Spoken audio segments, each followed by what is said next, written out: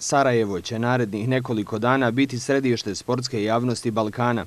Bogdan Tanjević i Sabahudin Topalbećirević zvanično su najavili šesti međunarodni simpozij o sportu Simposar 2017. Iz ovih imena koje sam ja vidio, a znao sam nešto iz razgovora sa njim, pa nešto sa ovim mojim kolegama koji su bili ovdje, Božo Maljković i Duško Vujošević, oni su mi pričali već prethodno, e, kad to bi bilo dovoljno za jedan veliki interes i isto po mišljenju kako sve danas funkcioniše na ovom svijetu liberalne e, ekonomije i da je podržano više sa sponzorima nego što ja vidim iz ovih e, podataka ovdje.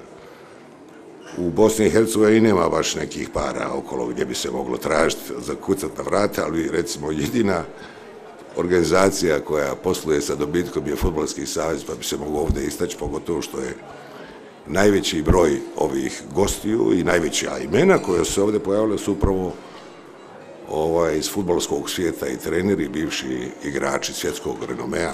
Petak imamo zaista nekoliko panela koji su interesantni gdje smo dobili podršku.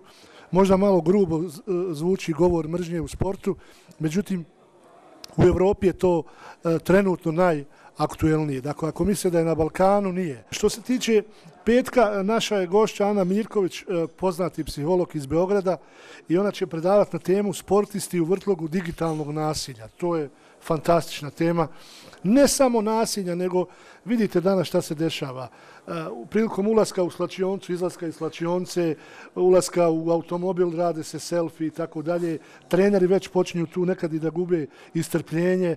Dakle, dolazi imamo o čemu da, o čemu da pričamo. Topal Bećirević je također najavio i druge zanimljive sadržaje ovog simpozija, a posebna poslastica za ljubitelje sporta je i premijera dokumentarnog filma Džajić, autora Sabahudina Topal Bećirevića, koja će biti upriličena u četvrtak od 18 sati u Sarajevskom kinu Meeting Point.